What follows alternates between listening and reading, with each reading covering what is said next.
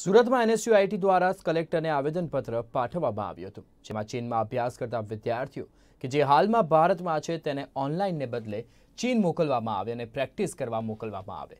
આ માટે કલેક્ટરને હસ્તક વડાપ્રધાનને પણ રજૂઆત કરવામાં આવી હતી.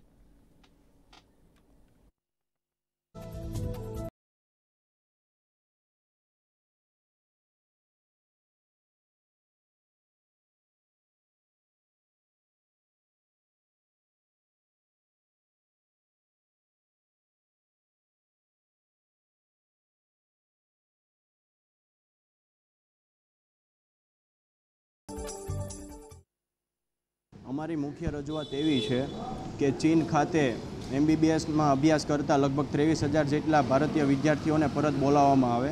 આપણે સૌ જાણીએ છીએ, છેલ્લા દોઢ વર્ષથી કોરોના મહામારીના કારણે સમગ્ર વિશ્વમાં હાહાકાર મચી ગયો છે.